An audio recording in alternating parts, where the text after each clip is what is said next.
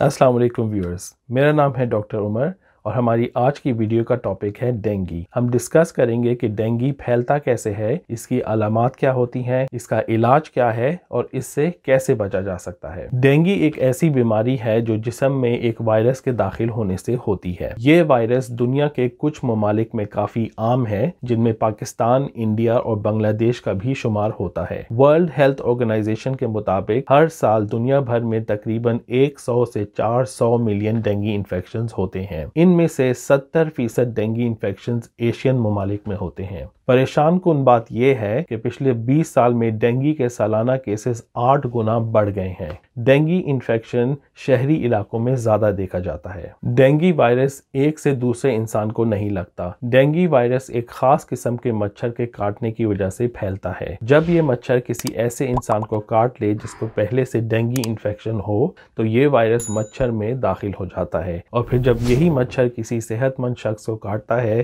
تو dengue virus اس شخص کے اندر منتقل ہو جاتا ہے۔ ڈینگی کی کافی مختلف علامات ہو سکتی ہیں، جیسے کہ بخار، سر میں درد، آنکھوں کی ڈیلوں میں درد، جوڑوں میں درد، متلی، جلد کا لال ہو جانا، پیٹ میں درد اور بھوک کا مر جانا۔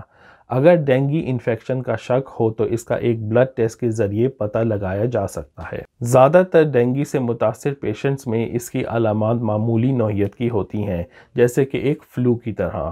اور پانچ سے آٹھ دن میں یہ علامات ختم ہو جاتی ہیں۔ لیکن تقریباً پانچ فیصد لوگوں میں ان ابتدائی علامات کے بعد ڈینگی ایک زیادہ شدید نوعیت اختیار کر لیتا ہے، جس کو سیویئر ڈینگی کہا جاتا ہے۔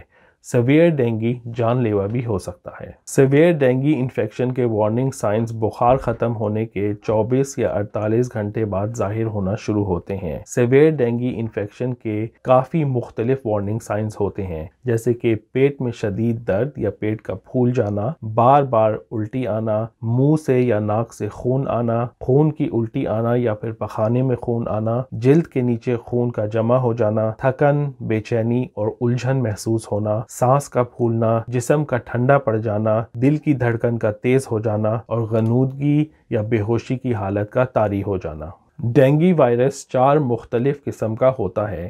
اور اس وجہ سے ڈینگی انفیکشن ایک سے زیادہ دفعہ ہو سکتا ہے۔ جن لوگوں کو پہلے کبھی ڈینگی ہو چکا ہے، اگر ان کو پھر سے ڈینگی انفیکشن ہو جائے، تو اس سچویشن میں سویئر ڈینگی یعنی کہ شدید علامات پیدا ہونے کے زیادہ امکانات ہوتے ہیں۔ تو آخر ڈینگی کا علاج کیا ہے؟ ابھی تک ایسی کوئی ٹریٹمنٹ دریافت نہیں ہوئی جو جسم میں سے ڈینگی وائرس کو ختم کر سکے۔ اگر کسی کو ڈینگی ہو جائے، تو ہمارا امیون سسٹم خود ہی ڈینگی کے وائرس سے لڑ کے اس کو وقت کے ساتھ ختم کرتا ہے۔ لیکن اس دوران کچھ سٹیپس لیے جا سکتے ہیں تاکہ ڈینگی کی علامات کم محسوس ہوں۔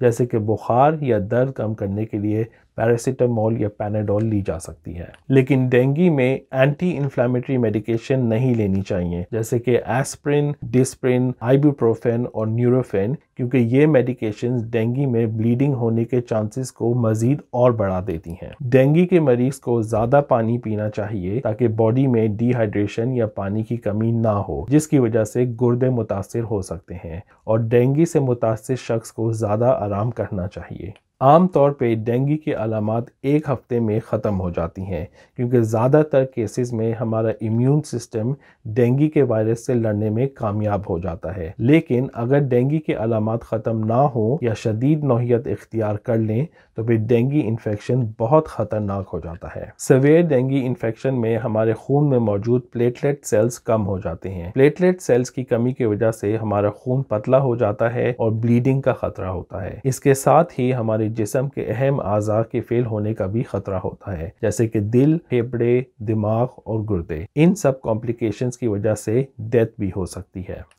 لیکن اگر شدید ڈینگی انفیکشن میں مریض ہاسپٹل میں ایسے ڈاکٹرز اور نرسز کی نگرانی میں ہو جن کو ڈینگی کی کمپلیکیشن سے ڈیل کرنے کا تجربہ ہے، تو پھر ڈینگی سے جان ضائع ہونے کا ایک فیصد سے بھی کم چانس ہوتا ہے۔ اس لیے بہت ضروری ہے کہ اگر کوئی بھی شدید ڈینگی کے علامات شروع ہوں یعنی کہ کوئی بھی سویر ڈینگی کے وارننگ سائن ظاہر ہوں، تو مریض کو فوراً ڈاکٹر سے رجوع کرنا چاہیے تاکہ ڈینگی کی کمپلیکیشنز کو جلدی سے قابو میں لایا جا سکے۔ تو ڈینگی سے کیسے بچا جا سکتا ہے۔ ڈینگی سے بچنے کا ایک ہی طریقہ ہے اور وہ یہ ہے کہ آپ مچھروں سے اپنی حفاظت کریں۔ اس کے لیے آپ اپنی باڈی پہ انسیکٹ ریپیلنٹ یا مچھر کو دور کرنے والی کریم یا سپرے کا استعمال کر سکتے ہیں۔ ڈھیلے کپڑے پہنے جو آپ کے بازو اور ٹانگوں کو پوری طرح کور کریں۔ چپل کی جگہ ساکس اور جوتے پہنے مچھروں سے محفوظ رکھنے والی جالی یا موسکیٹو نیٹ کے نیچے سوئیں۔ گھر کی کھڑکیوں میں ونڈو سکرینز لگائیں جو مچھروں کو گھر کے اندر داخل نہ ہونے دیں۔ جو لوگ ایسی جگہ پر رہتے ہیں جہاں پہ ڈینگی عام ہے، ان کو اپنے گھر کے نزدیک کچرا اور پانی جمع نہیں ہونے دینا چاہیے، کیونکہ ان چیزوں میں ڈینگی پھیلانے والے مچھر رہتے ہیں۔ ڈینگی کی ایک ویکسین بھی اویلیبل ہے، جس کا نام ہے ڈینگ ویکسیا۔ ریسرچ کے مطابق اگر یہ ویکسین ان لوگوں کو دی جائے جن کو پہلے کبھی ڈینگی نہیں ہوا اور پھر ان کو ویکسین لگانے کے باوجود ڈینگی ہو جائے